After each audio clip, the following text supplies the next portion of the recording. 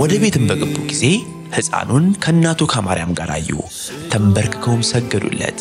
ሳጥኖቻቸውን ከፍተው ወርቅ፣ ዕጣን፣ ከርቤም አቀረቡለት። ማቴዎስ 2 ቁጥር 11 ሰላሳ ሺህ ብር ገባ። ወደ 450 ሺህ ብር ከየት እንደመጣ ማላቀው ነው።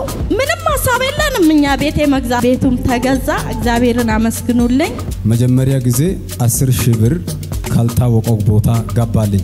ቀጣዩም ሁለተኛ ዙርም 10 ሺህ ብር ገባ። ሶስተኛ ዙርም ዘር ስል እንደዛውም ደግሞ 10 ሺህ ብር ገባ። በአራተኛው ዙር ላይ 40 ሺህ ብር ገባ። አምስተኛው ዙር ላይ ደግሞ ምንም ባላውኩት ምክንያት 50 ሺህ ብር ገባበት። ከዛ በኋላ እግዚአብሔር ቤት ሰጠኝ። ቤት ነበረ ጥያቄ።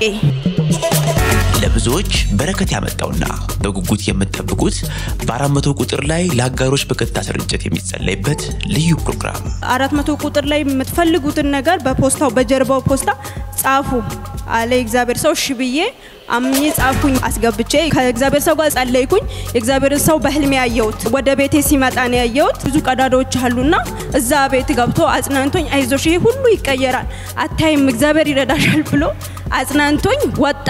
ከዛ በኋላ በአመቱ እግዚአብሔር ቤት ሰጠኝ። ቤት ነበረ ጥያቄ።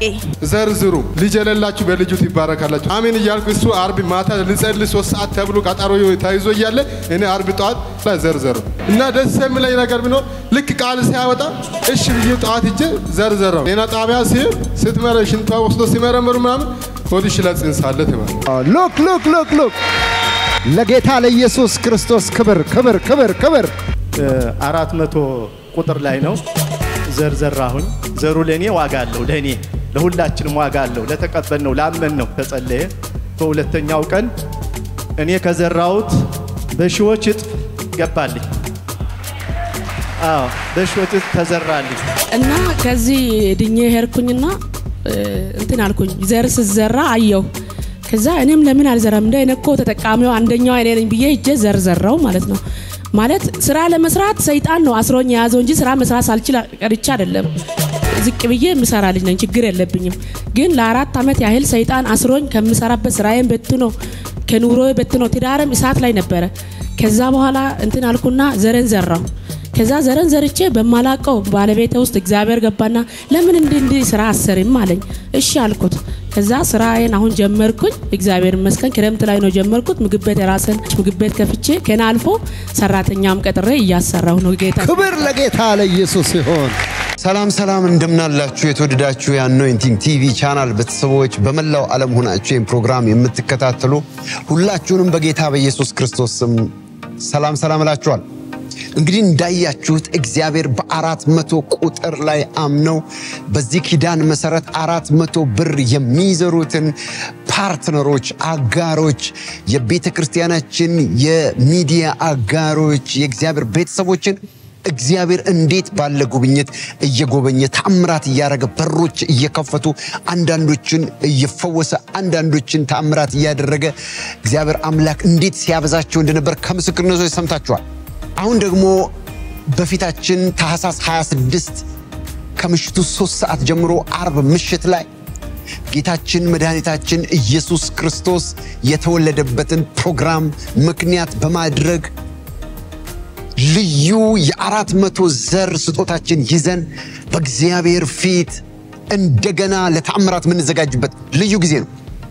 ዘሮቻችን አሁንም ነግራቸዋለሁ፣ በሮችን ያስከፍታል።